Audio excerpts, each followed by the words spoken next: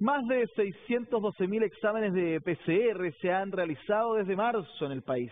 Sin embargo, aún existen algunas dificultades en el testeo, por eso surgen algunas ideas y alternativas para detectar casos positivos y también sospechosos. Es la cifra positiva del balance que día a día entregan las autoridades respecto al COVID-19, con más de 612 mil exámenes PCR. Chile es uno de los países que más pruebas ha realizado en la región. Las últimas 24 horas se informaron por parte de los laboratorios 13.442 exámenes. El problema es que aún así, esta cifra podría ser insuficiente para detectar y aislar todos los casos activos.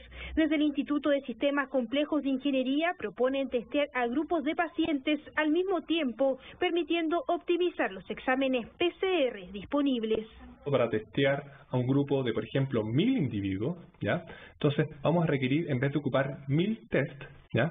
Podemos ocupar números mucho más reducidos, por ejemplo, de 500, 400, 200 en promedio. Una técnica que también han aplicado otros países como Israel o Luxemburgo. La idea es sumar las muestras de un número determinado de pacientes, analizarlas en conjunto y luego poder separarlos por grupos.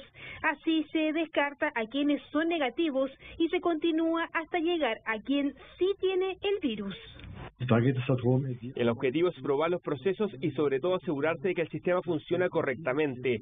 Por supuesto está claro que todo tiene que pasar por una prueba y esto debe hacerse los próximos días con una capacidad de alrededor de 1.500 por día. Si la prevalencia es baja, ¿ya? Entonces conviene usar pool testing. Mientras que si la prevalencia es alta, no conviene usar pool testing. Matemáticamente, la probabilidad de que una persona que yo teste y que tiene la enfermedad es mayor a 30%, entonces no conviene usar pool testing y conviene testear individualmente. Una práctica que de todas formas aún no ha sido utilizada de manera amplia en el país y que genera opiniones opuestas puede ser especialmente útil en ciertas eh, poblaciones especiales como personal de salud, en hogares de ancianos y también en zonas en donde la prevalencia puede ser más bien baja. Me parece riesgoso, puede suceder que una muestra que tenga una baja carga eh, por virus eh, pueda diluirse de alguna manera al mezclarse con muestra de otro paciente y no ser detectado.